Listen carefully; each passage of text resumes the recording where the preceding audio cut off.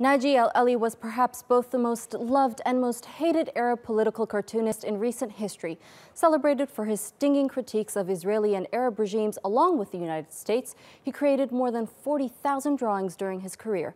The Palestinian artist was assassinated three decades ago, but his legacy still lives on. This month, to mark the 30th anniversary of his death, Istanbul's Bağımsız Sanat Gallery is holding an exhibition of some of Naji Al Ali's most prominent artworks. Through cartoons, he analysed the relationships between the United States, Israel, and the Arab regimes, and ultimately what that meant for the people of Palestine. Al Ali was born in 1938 in the Palestinian village of Al Shajara. After the 1948 Palestinian exodus, or Nakba. He lived in a refugee camp in Lebanon with his family. Al Ali is best known for his creation of the character Handala, widely recognised as a leading figure of Palestinian defiance. Handala appears as a barefoot 10 year old who turns his back on the world after Nakba. Al Ali spent much of his life in Lebanon and Kuwait, where he worked for Kuwaiti daily newspaper Al Qabas as a political cartoonist. By 1985, he'd moved to London to work on the international edition. In 1987, Al Ali was shot in the face and mortally wounded while outside the newspaper's London office. He died five weeks later in hospital. Nobody has ever been charged with Al Ali's murder.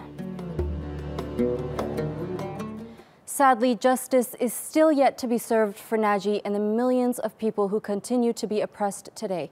For more on this, visiting senior fellow at the Middle East Centre of the London School of Economics, Ian Black, joins me from London. Ian, thank you for joining us today. I want to start off by asking you, why did Naji choose to draw such a young boy to represent Handala when he had a blank canvas to draw anything he really wanted to? Well, Naji Ali explained uh, what was behind uh, this this very famous figure, Hanzala, and it was it was really very simple. He, uh, Ali was a 10-year-old boy in 1948, 47, 48, when the Nakba took place, when the Palestinians were expelled or fled or were driven out from the territory that then became the State of Israel. And that was the formative event in his life and indeed, for a whole generation of Palestinians, it was the defining experience for him. And Hanzala was stuck at that point.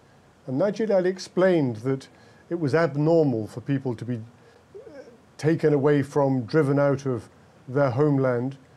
And Hanzala would never grow up. He'd never be older than 10 because that was fixed in his mind and in historical memory as the moment of disaster. So this cartoon figure, this little boy, became the symbol of that experience, both for Naji Al Ali himself and the people whose aspirations he very much came to uh, represent in his drawings. It was a personal and political moment that was frozen in time, and of course still is frozen in time.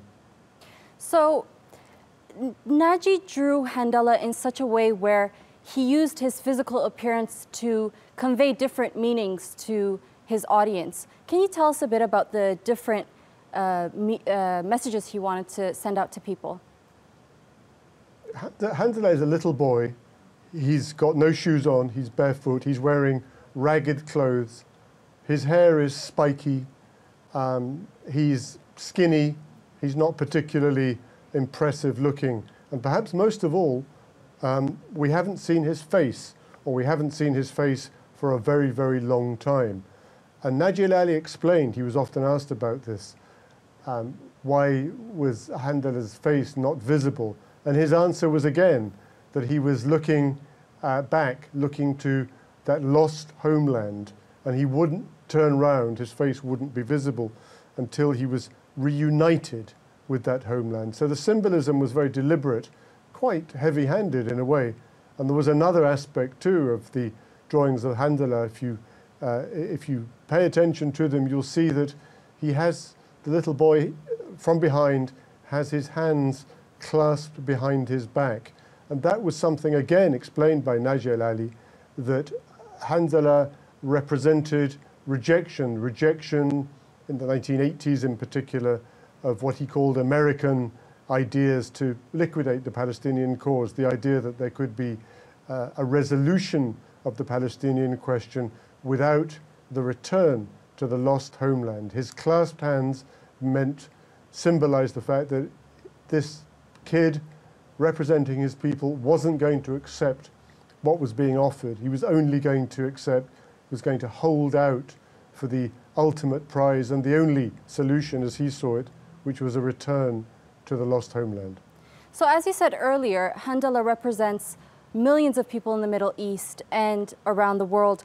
What does he mean for people who opposed the Israeli apartheid?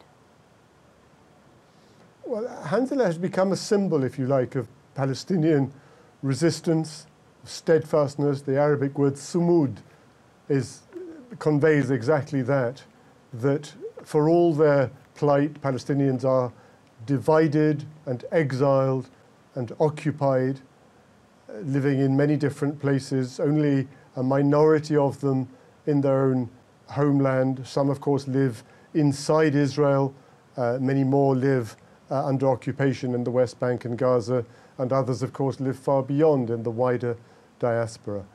So it was, the idea was to represent that people, to stand for the, their aspirations, and to, and to serve, if you like, as a reminder of the injustice done to that, uh, to that people. And he's become a famous figure uh, in a way, very much recognizable, I think, internationally as a symbol uh, of that cause. But of course, Naji Ali's death, his assassination here in London actually 30 years ago, um, was a complicated story and it perhaps sheds a little more light on the reality. He's, he became a symbol, but the circumstances of his creator's death reflected uh, a complex political reality. He was almost certainly killed by another Palestinian uh, acting for people who didn't like his attitude. Uh, so it's a complicated story beyond the simplicity of the symbol that he does represent. Well, it was a pleasure having you on our show today, Ian. Thank you so much.